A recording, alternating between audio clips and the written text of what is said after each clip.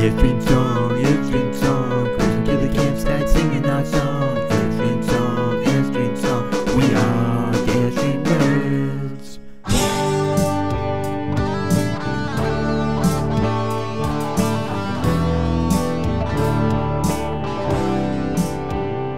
Hi, this is Jeff from Airstream Nerds. Just got back from running an errand and my propane gas detector was beeping like crazy. Um, I had the light blinking up here. Uh, it was making lots of racket and I wasn't sure what was going on because I haven't had the propane on but a couple times over the winter months. Um, and I knew I didn't have a propane leak um, because my propane tanks are off, like I said.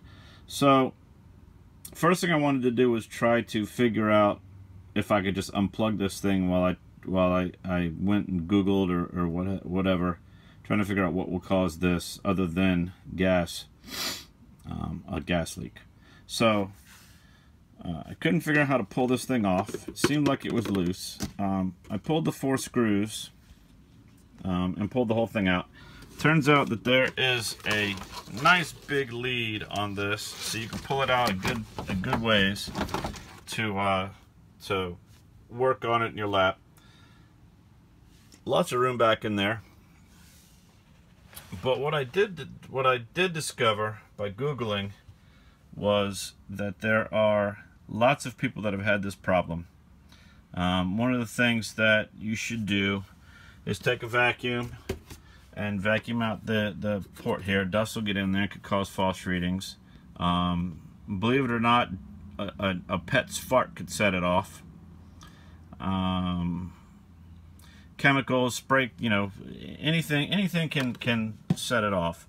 Although it was an empty trailer and there's nothing going on in here, uh, I'm not sure what set it off today. So, I guess at some point I did something to um, not like it because eventually it powered off.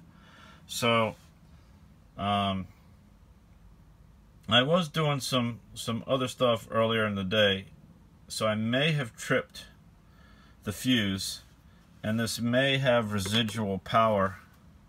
Um, it might take a while for the capacitor to discharge, so this thing could go off for a little while before the battery runs out. Because while I was in the middle of testing everything, the power did go out to it. At that point, I needed to find out where the where the power was fed. Um, so I called the guy who did our solar up, upgrade, which I'll be posting a video here um, in the next few weeks. Um, and he told me right where the fuse was.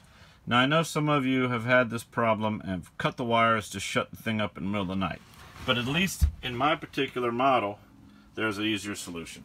So my particular model, which is the the front bed twins 25 foot flying cloud 25 FB um, he told me under the mattress on the passenger side here is a little plate that opens up into the bus bar and other stuff so it's a nice little plate that Airstream has made they've put it there um, access into here.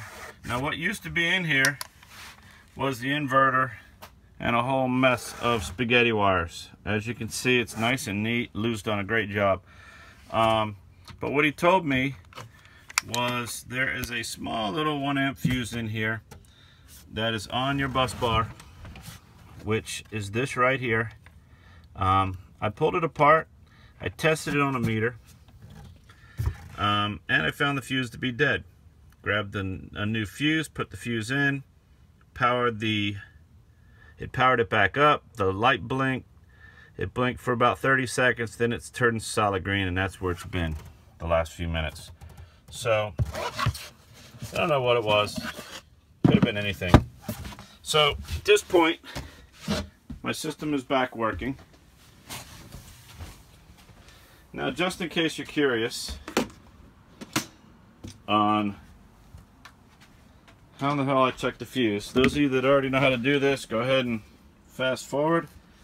But those that don't, it's really simple. Get you a, a multimeter that has a continuity checker on there. switch it to continuity. Now, most most of them that have a continuity checker will make an audible noise when you press the leads together. So all a fuse is is a couple of caps with a filament going between them and the filament size is based on the size of the fuse it's needing to be. So all you do is you put your your leads on either side of the fuse. If your continuity meter beeps, you know it's a good fuse. If, however, you put them on there and it doesn't beep, just like this one here, then you know that you have a bad fuse. Anyway, we're all good now. This is Jeff from Airstream Nerds. Happy camping.